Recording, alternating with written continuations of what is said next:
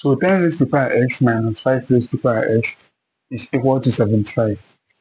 So let me solve for the value of x. So 10 raised to the power x minus 5 raised to the power x is equal to, I will simplify 75 to be 15 times 5.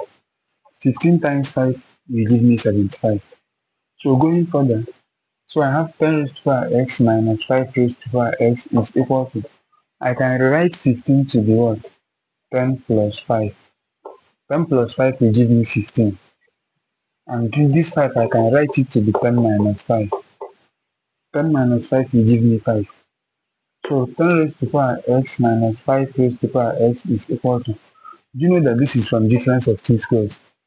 This is from difference of two squares, so I can apply difference of two squares.